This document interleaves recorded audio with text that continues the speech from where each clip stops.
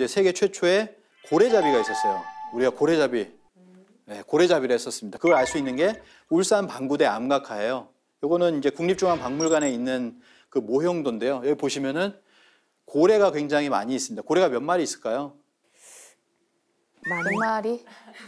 어, 100마리 안 돼, 50여 마리 정도가 있습니다. 어. 말이라고 하니까 좀 그런데 너무 커가지고 제가 말이라고 부르기에는 자 고래가 있고요, 흑등고래 뭐 이런 고래들도 있고 그 다음에 사람이 또 10여 명이 있어요 여기저기 뭐 하냐면 또 사람들이 있고 어, 아래쪽에 보면은 여기는 뭐가 있냐면은 얼굴이 있습니다 얼굴 잘 안 보이실 텐데 얼굴이 있어요 이 샤먼의 얼굴이라고 합니다.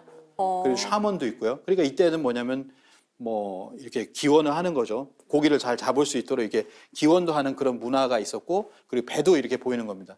그래서 하- 가장 여기서 이제 중요한 거는 뭐 요거 하나 말씀드리려고 배가 있었다. 7천 년 전에 배가 있었다. 근데 실제로 그 배가 드러났어요. 어디서 드러나냐면 어, 비봉리 목선이라고 해서 저 아래쪽 우리 하- 한반도 남부 쪽에서 비봉리라고 하는 곳에서 목선이 발굴이 됐어요. 2005년인가 발굴이 됐습니다. 그래서 그게 8,000년 전에 목선입니다. 이렇게 되죠? 우와. 어, 저 이게- 봤어요. 보셨어요? 네네. 예, 이게 음. 국립중앙박물관에 있는 것이고요. 아래쪽에 가면 그쪽 박물관에 실제 모형이 있습니다. 이거를 뭐라면 거제에 있는 해양박물관에서는 세계 최초의 배다라고 음. 하는 거죠. 우리가 배 건조술이 있었다라는 거예요. 아주 오래 전부터. 그래서 8천년 전에 이런 비봉리 목선 그리고 7천년 전에 울산 방구대 안각하에서 보여주는 그런 배들이 뭐냐면은 아 우리가 해양 강국이었다, 해상 강국이었다라고 하는 것을 알 수가 있고요. 그게 이제 고구려로부터 고구려에는 해군 제독이 있었습니다. 고구려 하면은 저 대륙에 있었기 때문에 아 해병 해군은 발달하지 않았을 거야라고 생각을 하잖아요. 그게 편견이라는 거죠. 실제로 고구려 해군 제독의 영계서문의 동생 연수영 이거는 여성이었어요. 여성이었고 이분에 관한 기록들이 있는데 당태종 이세민이 구당서에 이렇게 얘기합니다. 적보다 다섯 배나 많은 군사로도 이기지 못했으니 장차 어찌하랴. 자신들이 10만이었는데 여기 2만에게 당했다라는 거예요. 해상에서 이런 것들이 있었고요. 백제는 우리가 잘 알고 있는 건 해양 대제국입니다.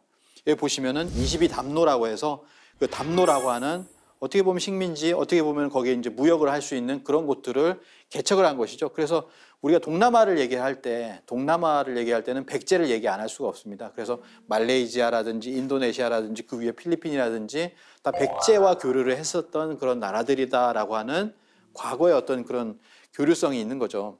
그리고 우리가 잘 등한시하는 게 가야입니다. 가야. 가야도 보면은 지금 어, 가야 전시회도 했었는데요. 가야의 배가 굉장히 멋있거든요. 근데 그 배가 해상까지 나갈 수 있다라고 하는 걸 보여주고요. 그리고 가야라고 하는 것이 한반도 남부 쪽에만 있는 것이 아니라 저 구주 지방까지도 가야가 진출했었다. 일본에 보면 가까운 데 있잖아요. 대마도 위쪽하고 대마도 아래쪽으로 해서 그런 것이 하나의 어떤 가락국, 가락국이라고 이렇게 할 수 있겠고 여기서부터 해가지고 어디까지 갑니까? 인도. 인도에 우리가 이제 가야를 건국할 때 허왕옥 세력이 있었잖아요. 그분들이 인도에서부터 여기까지 이렇게 왔다라고 하는 것이죠. 그것이 거의 이제 검증은 사실 끝난 상태인데 지금도 보면은 문제가 되는 건 뭐냐면 가야 건국이라든지 고구려 백제 신라의 어떤 건국을 신화시하고 있는 그런 문제가 있다라는 거예요. 그래서 우리가 역사를 바르게 알아야 이런 어떤 인도 저희가 인도를 갔다 왔었어요. 근데 인도의 하- 한류 팬클럽 회장도 얘기를 하는 겁니다. 첸나이에 있는 한류 팬클럽 회장이 뭐라고 하냐면은 여기에서부터 그 허황옥 세력이 출발을 했다. 왜냐하면 거기에서는 뭐냐면 언어가 전 세계에서요. 그 인도의 그 남부에 있는 첸나이가 어, 우리나라하고 언어가 같은 게 제일 많아요.